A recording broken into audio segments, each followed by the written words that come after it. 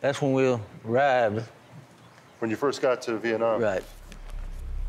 Well, we didn't know what we were going to really get into when we left Fort Campbell. We found out in a hurry, especially in January, February 1968 when the Tet Offense just kicked off. We found out right quick what it was like to be in Vietnam. Well, the first time I saw him, it was sort of funny because he was a real little guy and we thought it was a joke to start with, but uh, turned out that he was our platoon leader. I never seen anybody smaller than him on there, other than the Vietnamese.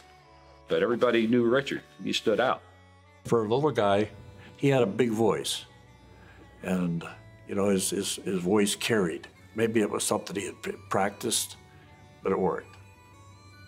Was it a little strange to see a guy that small? It was very strange. When I first looked at him, I did a double take.